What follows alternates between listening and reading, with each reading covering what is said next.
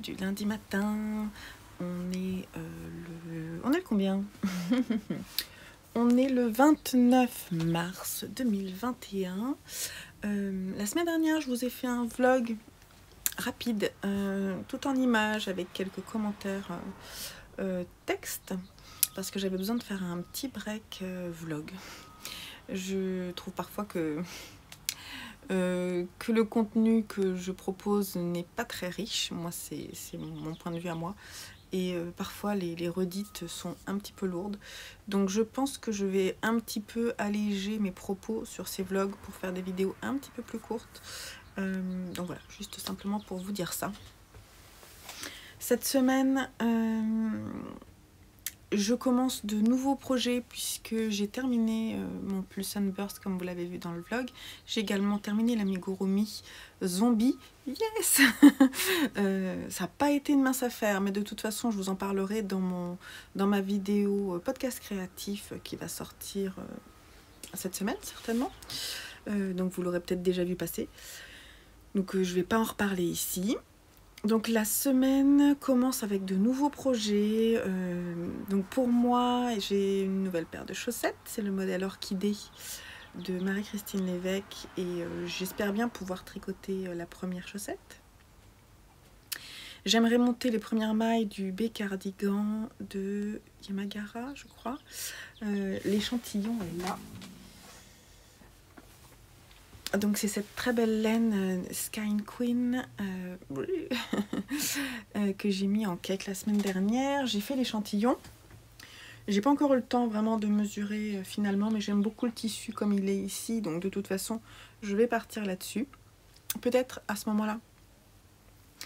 si je suis pas dans les clous, je vous, expliquerai comment je fais pour faire mes petits calculs. Parce que je sais que c'est quelque chose qui vous intéresse. Euh, sinon, parallèlement, j'ai mon design euh, de châle que je veux avancer vraiment. Et euh, donc, j'ai eu moult péripéties ce week-end avec puisque j'ai dû défaire 5 ou 6 fois la dentelle centrale.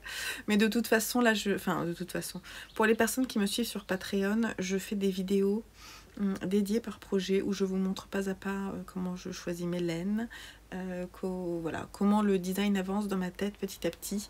Et typiquement là c'est très très intéressant de voir comment euh, une idée au départ euh, peut être modifiée par la suite pour pouvoir en faire un tricot aussi agréable et non pas juste la projection d'une idée qu'on a en tête.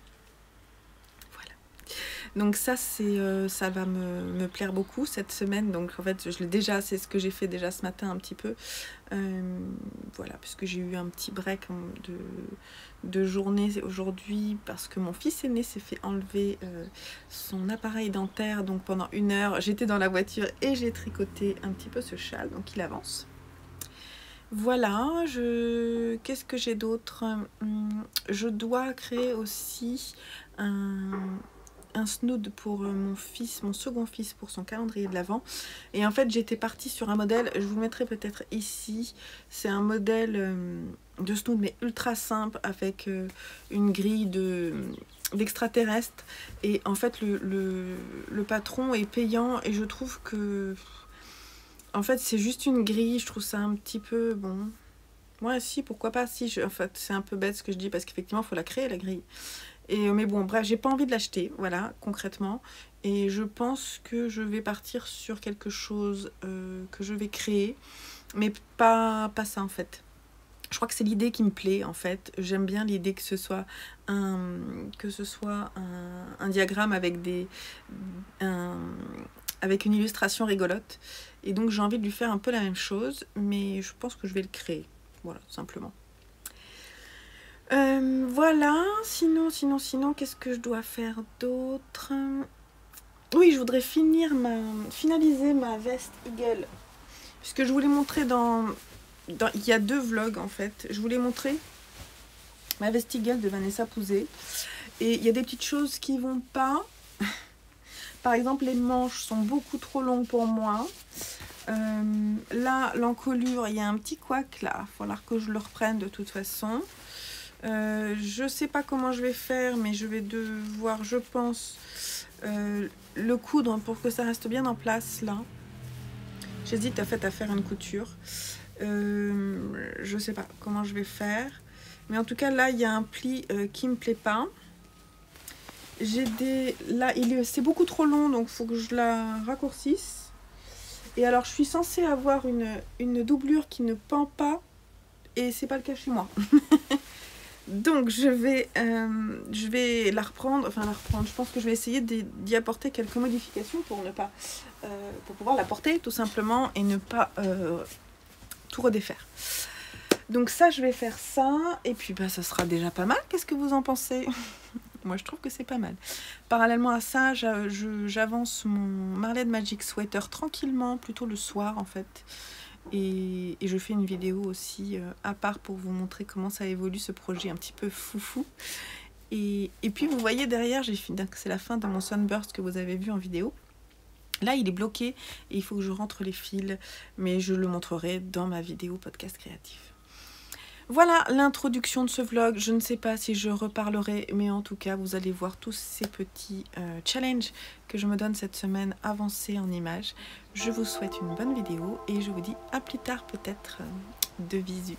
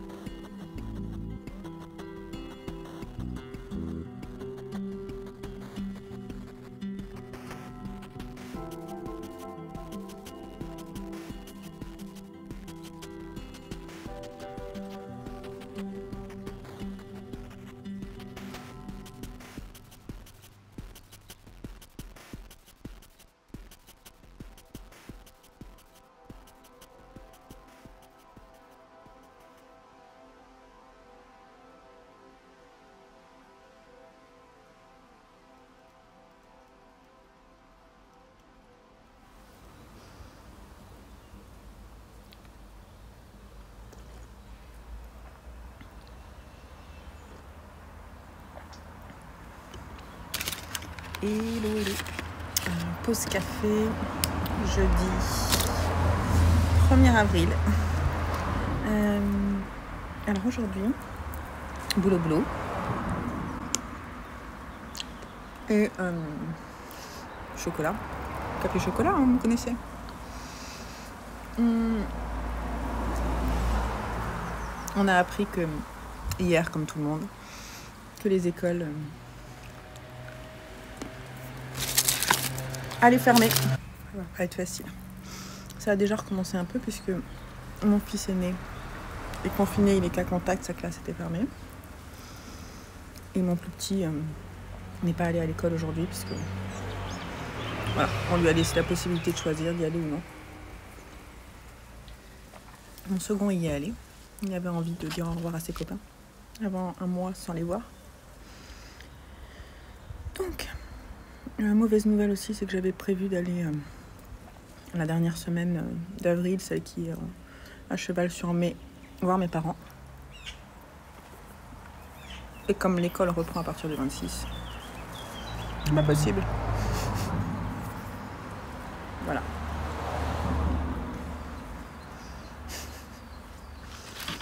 Donc, suis désolée, j'ai une coiffure. À chaque fois je m'accroche les cheveux, je finis ma journée avec des petits cheveux en l'air comme ça. Ça me fait penser à Les sorcières d'Estwick, si vous connaissez le film. Hmm, comment il s'appelle? Hein? Voilà. Il a une, coiffure toujours comme ça et il n'arrête pas d'essayer de se recoiffer comme ça. Je vous mettrai si je peux un petit gif ou une petite image. Je ne sais pas si je pourrais, mais en tout cas, je j'adore cet acteur. Donc je me suis dit, vu que, hein, on va essayer de positiver cette, euh, cette période, il y a des choses positives. Euh, Véronique, la MPJ euh, créatif. Ah, je sais plus ton pseudo, bref. Je le mettrai en bas. Véronique, coucou Véronique, disait qu'elle, elle était rassurée parce que elle préfère savoir ses enfants à la maison qu'à l'école dans ces conditions. Voilà, ça c'est quelque chose de positif et effectivement, je suis bien d'accord. Moi, moi j'étais un petit peu, j'ai pas compris qu'on n'est pas reconfiné avant. Parce que j'avais peur en fait pour mes enfants et là en voyant euh, les multiples classes qui commençaient à fermer, vraiment ça fait flipper quoi. Quand on a des enfants, on n'a aucune envie que, se passe, que ça se passe pas bien. Donc le fait que ce soit reconfiné à la maison, euh, c'est bien et que les profs prennent le temps de faire les cours à distance, je trouve que c'est bien. Je suis désolée s'il y a des profs qui m'écoutent et je sais bien que c'est difficile. Mais euh, sachez que c'est difficile aussi pour nous parents euh, d'assurer de travailler et voilà je pense que c'est difficile pour tout le monde et qu'il vaut mieux éviter de se croiser pour éviter de se contaminer ce n'est que mon point de vue et je n'ai aucune envie de contaminer qui que ce soit non plus voilà donc on se reconfine euh, plus de copains à la maison pendant un mois ça, ça va être dur pour les garçons. Mon second, là, il va, pas être cool. On va voir. Et euh, donc, je me suis dit, il faut falloir qu'on positive tout ça. Et ce serait peut-être pas mal de remettre en place les défis du confinement. Qu'est-ce que vous en pensez? Euh, Autant pour nous que pour mes enfants, j'ai envie de leur faire faire des activités un peu différentes. Voilà. Donc, euh, je pense que je vais remettre en place ces défis-là. J'en ai discuté avec mon groupe mon groupe de discussion des tricopines sur Instagram. Salut les filles Et je leur disais, voilà, si vous avez des, des idées de défis un peu fun, euh, n'hésitez pas à m'en faire part. Je, compile, je compile. Euh, je vais, euh, je pense essayer de filmer. Donc aujourd'hui, on est jeudi, de filmer ma première liste demain. Alors, c'est une liste, bien sûr, ouverte, comme on appelle ça dans le, dans le jargon documentation. Euh, c'est une liste ouverte, donc euh, je peux rajouter des choses quand je souhaite et non pas, j'aime pas moi les choses figées, surtout dans les loisirs, ça serait dommage. Voilà, donc il y aura la lecture de la couture, euh, d'autres loisirs, de la beauté. Bref, si vous avez des idées un peu farfelues, je suis preneuse. voilà. Essayons de garder le sourire pendant cette période difficile c'est le plus important, je pense. Donc j'ai presque fini mon café. Je vais devoir rebosser. Ça, c'est quelque chose de moins, moins fun, mais il faut bien le faire. J'ai mon chat qui, lui, par contre, euh, fait pas grand chose. Salut. Pimon. Hmm. Ouais. C'est dur la vie. Et ce qui est trop cool, c'est qu'on a commencé à manger dehors. Là, on a mangé dehors encore avec les garçons. Et c'est les garçons qui ont préparé le repas. C'était pas super super bon, mais on va pas le dire. Euh, mais bon, c'est pas grave, comme ça, du coup, après, on donne des conseils. Par exemple, là, ça manquait un peu de goût. La prochaine fois, peut-être mettre une sauce, un peu de moutarde dans la sauce, plus de poivre. voilà. ça va venir. Je vous montrerai peut-être euh, un petit peu ce qu'ils font. Il faut que j'ai le temps de filmer, c'est ça le truc aussi. Mais euh, ouais, je vous montrerai un petit peu les challenges que je leur donne. Voilà. Et puis, il faut que je vous parle aussi des bouquins, parce qu'on a acheté pas mal de bouquins ça me fait sourire parce que Magdalena, hier, elle a mis un post aussi euh, en attendant les annonces du président. Qu'est-ce qu'on fait? Ben, on, se refait notre pile à lire. C'est un peu ça. Moi, j'avoue que j'ai un peu ça aussi euh, dans ma tête. Euh, c'est-à-dire lire un peu plus là. En profiter. Bon, malgré tout, je vais pas avoir beaucoup de temps à moi. on va voir. Hello du vendredi matin. Euh, ma journée de boulot commence à peine, mais je me suis dit qu'il faudrait quand même que je vienne vous faire un petit coucou. Euh, parce que, bah, euh, en fait, je suis pas venue vous voir quasiment, je vous ai rien montré de la semaine. Désolée. ce qui se passe, c'est que c'est vrai que pendant ma semaine de travail, les seules choses qui avancent vraiment, c'est tout ce qui est design. Euh, donc là, par exemple, j'ai avancé, j'ai fini la dentelle euh, centrale de mon châle. Euh, donc je suis contente. C'est très joli. la laine que j'utilise est une laine que j'ai teinte et je, suis vraiment mais, en amour devant la couleur. Donc je suis très très très contente. donc ça, ça avance très bien. Ensuite, j'ai aussi avancé mon nouveau design de, à partir de reste de fil. Donc ça aussi c'est complètement, complètement addictif. Et en plus comme c'est un côté zéro cerveau, ben, je le fais le soir. Ce qui fait que je peux pas trop vous montrer. Le seul truc qui a avancé c'est ma chaussette. Mais je vous la montrerai plutôt demain parce que je vais la reprendre demain. Je pense essayer de la terminer. Et, et puis euh, oui, alors sinon j'ai mis en ligne mes, mes nouveaux, nouvelles couleurs pour la collection printemps. Oui, donc je sais plus ce que j'étais en train de dire, mais euh, mes enfants sont, là, ça y est, c'est le début, euh, le début officiel, euh, les enfants à la maison, l'école à la maison, et moi qui bosse. Et donc, comme je vous disais hier, là, je me suis dit, c'est peut-être le moment de remettre en place les défis du confinement, parce que j'ai besoin de, voilà, de challenge pour, parce que voilà, je suis quelqu'un qui adore les challenges, et je trouve que c'est le bon moment, c'est-à-dire que du coup, c'est motivant, on a envie de faire des choses avec les enfants, on a envie de de toute façon, c'est un moment où il faut qu'on se dépasse parce qu'il faut qu'on dépasse nos peurs, il faut, il faut qu'on s'occupe, tout ça. Donc, voilà, j'ai envie de remettre ça en place. Et, j'ai noté des choses et je pense que je vais tourner une vidéo aujourd'hui euh, pour euh, venir vers vous et qu'on fasse un échange justement sur le sujet pour officiellement commencer ces, ces défis euh, à partir de la semaine prochaine. Et il faut aussi que je tourne pas mal de choses, mais là aujourd'hui ça va pas être possible. Il faut que je tourne ma, mon podcast créatif du mois de mars pour vous montrer euh, tous mes projets terminés. Et j'aimerais bien aussi euh, tourner ma, ma, culture box de mars parce que ça commence à s'empiler euh, tout ce que j'ai lu. Donc voilà. Ce que je voudrais c'est. je vais participer ce week-end au, au, au challenge 250-500 de Magdalena, triple L de Mag, j'avais déjà participé. Là, je pense que je vais pas compter mon métrage de laine parce que, bah, comme j'utilise pas mal de reste de fil en ce moment, je vais pas peser tous mes pelotons. En revanche, je vais euh, noter mes, les pages que je lis. Et comme ça fait partie justement d'un de mes challenges, euh, ce sera bien. Voilà. Et puis, bah, c'est déjà pas mal. Hein Euh, voilà, je crois que c'est tout ce que j'avais à vous dire pour le moment. Euh, j'ai pas mal de choses à faire aujourd'hui. Vous voyez, je me suis fait une petite liste comme chaque jour. Ah oui, d'ailleurs, dans un petit carnet, tellement chou. Il est trop chou ce petit carnet euh, que Sandrine m'a offert. Coucou Sandrine, si tu passes par là, c'est trop mignon. Agnès Sorel sur les réseaux. Et donc voilà, faut que je fasse. ça me permet en fait de noter ce que je voudrais faire. Alors en encadré, c'est ce qui est genre obligatoire.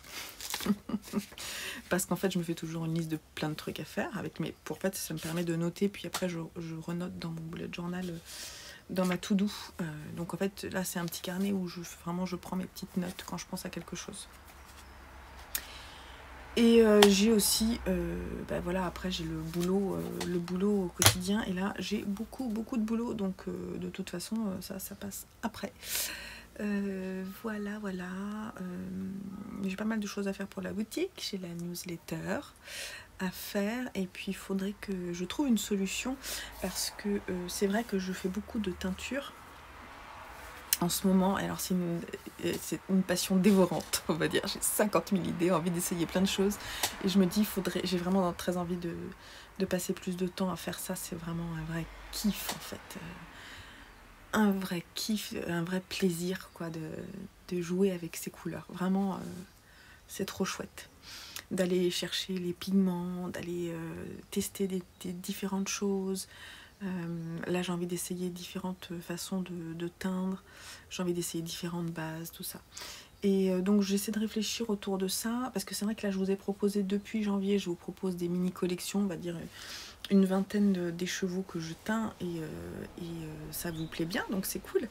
Mais ce que je voudrais, c'est réussir à savoir quels sont les coloris qui vous plaisent le plus pour euh, peut-être euh, l'année prochaine, quand j'aurai fini mes multiples expériences, je pense qu'on finit jamais, hein, mais, mais quand j'aurai vraiment, je pense, fait quand même le tour du sujet. Non, pas le tour. Le premier tour. le premier tour du sujet, parce que je pense que s'il y a des teinturières et teinturiers qui passent par là, ils savent de quoi je parle. Je pense que c'est une, expérience euh, qui, qui, apporte tous les jours du plaisir, parce qu'on est étonné à chaque fois de ce que ça peut donner. Et chaque jour est différent et chaque expérience est différente. Hein. C'est pour ça qu'il est si difficile de faire deux fois la, même chose. Euh, donc, je me disais, il faut que je trouve une solution pour euh, vous montrer tout ça. Alors, je pense que euh, je vais faire ça sur Patreon, essayer de, profiter de mes patronettes pour leur, faire, les faire voter en fait sur, sur leur coloris préféré du mois. Et comme ça, ça me permettra de savoir en fait euh, sans... Euh,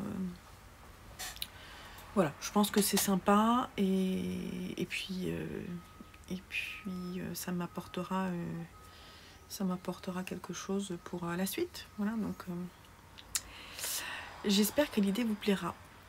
Voilà, et bah, pour le moment je vous laisse là et je pense que le week-end, ce week-end je viendrai vous voir un peu plus fréquemment parce que le week-end je fais moins de, moins de design. Enfin, je dis ça, mais comme mon design il est très très prenant et qu'il m'accapare et que j'ai envie de voir ce que ça donne, euh, je sais pas, on verra. Bon, en attendant, c'est le moment que je bosse parce que ça, c'est un pipip qui me dit que euh, j'ai ma collègue qui me pose une question. Donc, je vous laisse. Bonjour, bonjour du samedi matin. On est dans la cuisine pour le petit déjeuner et je suis toute seule, ce qui fait que je papote avec vous. euh, j'ai euh, hier filmé ma vidéo, euh, ma première vidéo où je vous partage ma liste défis de confinement. Et euh, je regarde depuis vos suggestions. Et c'est vraiment trop chouette, il y a plein de bonnes idées. Donc je suis très contente. Je vais, je vais bah, dès, dès, lundi, je pense, je vais commencer tous ces défis. je pourrais même commencer dimanche. mais je vais voir. Je vais voir comment je m'organise j'aimerais en fait pouvoir les compiler en fait. Et puis euh, comme aujourd'hui j'ai pas mal de choses à faire, il euh, faut que je traite mes commandes, euh, que je les poste. Merci pour vos commandes de, de mes dernières teintures. le stock est limité, mais je suis toujours heureuse de voir que ça vous plaît. Donc il en reste quelques-uns d'ailleurs. Je vous mets, la, je vous mets la, le lien vers ma, ma, boutique. De toute façon, il est toujours dans la barre d'infos en dessous. N'hésitez pas à aller voir. Il reste du verre à Nice et un, un écheveau de, de lace en, coloris humus qui est un marron très, euh, très nuancé parce que j'ai fait de la surteinture dessus. Donc il y a une base bronze avec euh, un marron un peu plus chaud par-dessus. Ce qui lui donne plein de jolies nuances. J'aime beaucoup. Voilà, ce matin, réveil un peu trop matinal, mais hier soir, je me suis couchée très tôt parce que euh, on a testé de regarder un, début de film avec mes garçons. Vous savez, ce, comment ça s'appelle? C'est Men in Black de, avec Will Smith. Je vais réchauffer des viennoiseries au four pour, euh, pour les garçons et pour moi. Donc là, on est mauvais, hein, euh, point de vue sucre. Mais c'est pas grave, on va dire qu'on commence euh, dimanche, lundi, parce que dimanche, je pense que je vais faire un gâteau pour Pâques. Donc voilà, il y a des gourmandises encore ce week-end. Mais en même temps, je ne compte pas m'arrêter dans les gourmandises, je compte juste réduire un petit peu, c'est ce que je vous disais. Euh, donc, euh, je sais plus ce que je vous disais. Mince. Oui, je vous disais qu'on s'est couché très tôt, du coup, parce que j'ai emmené mon fils Lucien, je voulais pas qu'il regarde, parce qu'en fait, ça fait super peur. Et donc, je lui cachais les yeux toutes les deux secondes, donc à un moment, je me dis, c'est pas grave, viens on va aller lire un Claude Ponty dans le lit. Donc on a pris Ma Vallée, qui est la référence, et, euh, c'était trop cool. On a lu pendant bien 20 minutes, parce qu'on brode autour du sujet, on se raconte d'autres histoires et tout. J'adore. Et puis ensuite, après, on, bah, s'est couché chacun dans notre lit, puisque maintenant il ne veut plus dormir avec moi. C'est terminé. Donc, euh, eh ben, j'ai lu, euh, j'ai fini Beignet de tomates vertes et je me suis endormie. Voilà. Et donc ce matin, réveil très matinal. j'ai lu mes 20 pages de Carnet d'or de Doris Lessing et ça faisait un moment que je l'avais pas repris, donc je suis contente parce que du coup je suis re-rentrée dedans. C'est pas un livre euh, évident, je trouve, parce que ça parle pas mal de politique. Ce qui me déstabilise en fait, c'est que euh, pour le moment, je trouve qu'on parle pas, euh, je trouve qu'elle parle pas énormément de ce qu'elle ressent. Et donc, elle, en fait, elle, euh, on navigue entre différents, euh, différents endroits, différents, différents lieux, différentes périodes de sa vie. Et donc, euh, on est vraiment dans des réunions politiques où elle parle des personnes qui, qui sont dans son groupe de pensée. Et c'est c'est pas évident, en fait. C'est pas évident. on sent qu'elle aime pas forcément. Enfin, je sais pas. Elle parle de, elle parle de cette période. Il y a, y a comme, il y a un mélange. oui, il y a un mélange de de souvenirs assez beaux, mais en même temps, elle regarde ça, elle nous montre ça d'une façon assez euh, dure, je trouve. En fait, c'est c'est pas un livre facile à lire parce que sa vision des choses n'est pas n'est pas n'est pas gaie. Donc, euh, je suis contente de le lire petit à petit et de lire autre chose à côté. Et donc, euh, je me suis dit, je m'arrête à mes 20 pages. je vais pas lire plus. Je le fais vraiment petit à petit. Peut-être j'accélérerai de temps en temps, mais là, pour le moment, j'ai pas vraiment envie. Donc, c'est vraiment une lecture que je picore. Mais il faut vraiment que je m'impose les 20 pages pour pouvoir le finir en avril, c'est vraiment l'idée. Donc, je... tous mes bouquins sont dans ma chambre et dans ma chambre, il y a mon homme qui dort et je ne veux pas le réveiller. Donc, je ne veux pas euh, remonter chercher les livres. Et donc, ce matin, au petit déjeuner, je me suis dit, mais qu'est-ce que tu vas lire? Et sur la table, il y a euh, ce livre qui est un livre que j'ai offert à mon fils Simon pour essayer de euh, l'attirer vers la lecture parce que mon fils Simon a beaucoup de mal à trouver des livres qui lui plaisent. Il y a euh, la saga Minecraft qui lui plaît beaucoup parce qu'il est à fond dans les jeux vidéo. Hein. Euh, il a 12 ans, bientôt, bientôt 13. Euh, donc il est à fond dans les jeux vidéo et il aime beaucoup la façon dont son télé écrit les livres Minecraft. Donc moi, à partir du moment où il lit, je lui achète ce qui lui plaît, mais j'essaie de lui montrer d'autres choses. Donc je lui ai acheté ce bouquin-là, qu'il a commencé à lire, et puis bah il n'a pas, pas accroché, je crois. Donc euh, je me dis, je vais peut-être essayer de le commencer, voir ce que ça donne. Euh, donc ça se passe, je sais pas où ça se passe. La Californie. Et euh, c'est l'histoire d'un jeune homme. Et il y a un séisme. Un séisme, un tremblement de terre le plus destructeur jamais enregistré qui dévaste la Californie. Et du coup, toute sa vie bascule. Et ils vont essayer de, de survivre. Si vous voyez la petite, euh, petite photo, dessin, là, il y a une main. je sais pas. Je sais pas ce que ça va donner. Hein. C'est vraiment... Euh, mais bon, il y a des... Derrière, euh, derrière il est écrit... tout bonnement inclassable, une fantastique histoire bourrée de rebondissements qui ne vous laissera pas souffler. J'ai adoré ce livre. Euh, donc voilà, c'est un, livre américain et c'est aux éditions Robert Laffont. Donc je vais commencer à le bouquiner en attendant que mes garçons se lèvent et je vais peut-être essayer de finir ma, ma première chaussette orchidée qui du coup a avancé. Ce matin, j'ai fini la dentelle. Vous voyez pas grand chose là, mais euh, de toute façon, je vous en reparlerai le moment venu. Mais elle est très très belle. Et cette laine est superbe. Il faut juste que je fasse attention. J'espère que j'aurai assez pour faire la seconde. Voilà, mais là il me reste, euh, je dirais, 3 cm avant de faire les pointes. Voilà. Hello du dimanche matin. Euh, j'espère que vous allez bien, en direct de ma chambre. Je suis toute rouge parce que je suis allée faire euh, ma course à pied depuis super longtemps. Donc là, je viens de prendre ma douche. Et je suis encore toute rouge, mais ça c'est normal. Et si vous voyez, euh, si vous, avez, vous allez regarder peut-être les vidéos euh, du confinement, vous allez souvent me voir dans la partie sportive de cette couleur. Ça risque d'être fort intéressant. Bref, oui, juste pour revenir sur ces vidéos des filles du confinement, j'ai décidé finalement de faire euh, des vidéos thématiques et hebdomadaires. Euh, parce que je vous ai dit, il y a plusieurs parties. Enfin, je vous ai dit si vous avez regardé la vidéo. Sinon, je vous mets un petit hip si vous voulez aller la voir avec ma... le début de ma liste. Donc, il y a une partie euh, création avec les garçons. Il y a une partie beauté, euh, beauté sport. et il y a une partie création, partie lecture et une partie rangement. Et je me suis dit, ce serait pas mal en fait de segmenter parce que ça n'intéresse pas tout le monde, par exemple, de voir euh, ce que je fais avec mes enfants. Si vous n'avez pas d'enfants, vous vous en fichez complètement. Si vous n'avez pas forcément envie d'entendre parler euh, beauté, santé, tout ça, vous aurez peut-être envie de regarder que la partie créative. Et voilà, donc je me suis dit que peut-être j'allais essayer de faire ça comme ça plutôt cette fois-ci. Et euh, donc je vais commencer pour la partie sportive, j'ai déjà commencé le tournage. Et donc il faut que je fasse aujourd'hui peut-être les, petites vidéos d'introduction des premières thématiques. Et voilà, et sinon d'un point de vue créatif, aujourd'hui, il faut que je fasse le tirage au sort pour le cal retour aux sources, euh, puisque Cyrielle a mis à jour le tableau euh, tricot. Je vais aller mettre le tableau euh, couture un jour et d'ailleurs y mettre mes dernières créations aussi. Il faut absolument d'ailleurs, avant ça, que je finalise ma veste Eagle parce que j'ai vraiment envie qu'elle soit terminée et la rentrée pour la partie, enfin moi pour les coutures de mars. Et puis, il faudrait que je tourne du coup mon, podcast créatif avec euh, toute cette partie, tous mes projets créatifs de mars. Donc ça fait quand même pas mal de choses. Après, on a dimanche et lundi. Ce matin, il faut que je fasse un gâteau du, de Pâques, enfin inspiré Pâques, parce que euh, en fait hier on est allé chez le chocolatier et tout avait été dévalisé parce qu'on s'y est pris au dernier moment. On est ouais, on n'est pas bon, on est un peu les cloches de Pâques.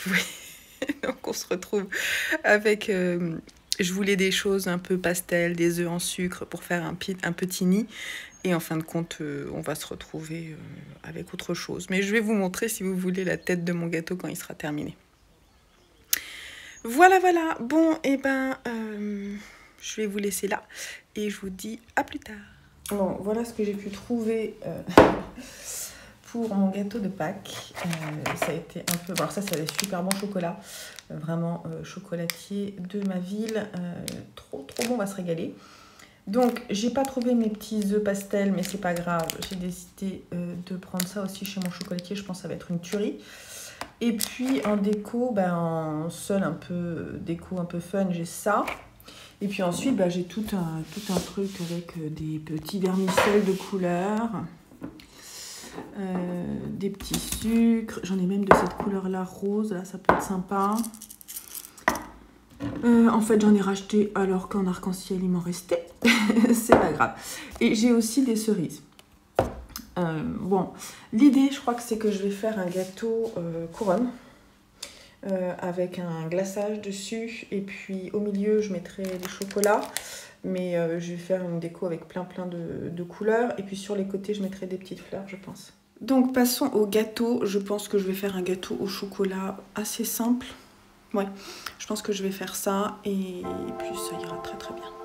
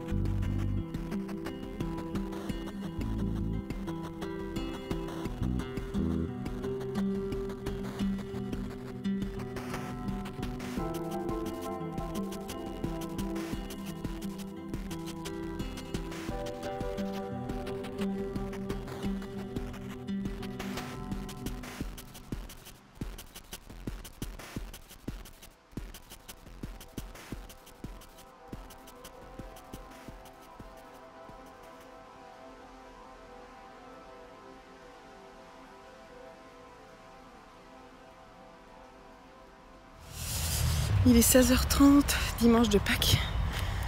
Et on est en train de partir à la chasse aux œufs en forêt. On vous emmène.